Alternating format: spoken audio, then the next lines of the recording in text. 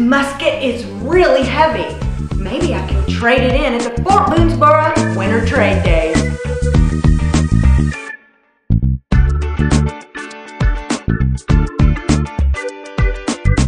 The 18th century merchants and traders in period clothing set up shops in the cabins and blockhouses of the fort.